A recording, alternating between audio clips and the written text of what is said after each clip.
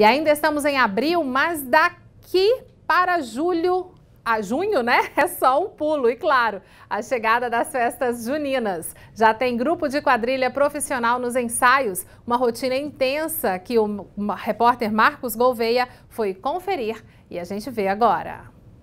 Pode parecer que a época das festas juninas está longe, mas o trabalho desse grupo de quadrilha começa muito, mas muito cedo.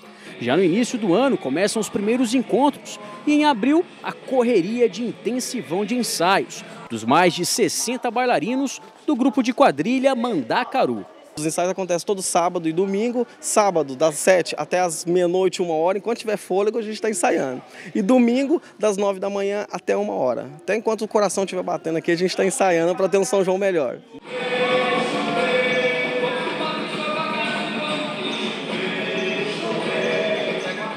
Muito ensaio porque a rotina de apresentações também é intensa. Entre junho e julho são etapas do Campeonato Goiano e apresentações também, comunidade, outras regiões e até mesmo em outro estado também a gente é convidado para poder apresentar. E aí vamos até agosto, setembro, outubro com o Nacional, a Raia Brasil e o Centro-Oeste. Esse ano o grupo trouxe uma equipe de ensaístas e coreógrafos de fora.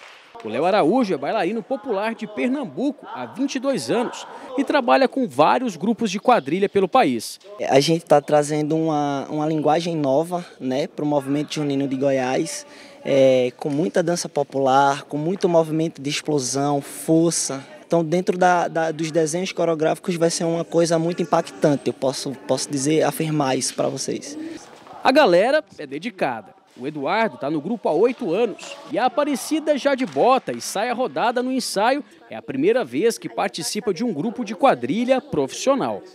É difícil, é complicado, é bem cansativo, mas também é tão gratificante porque a gente vai aprendendo a cultura popular aqui na quadrilha e a gente vai criando afetos também, conquistando amizades e é, é muito bom.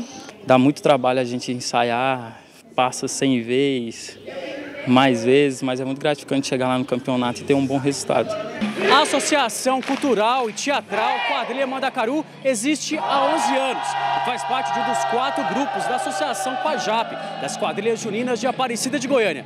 Grupos que levam a alegria da dança numa das mais belas e ricas manifestações artísticas da nossa cultura popular brasileira.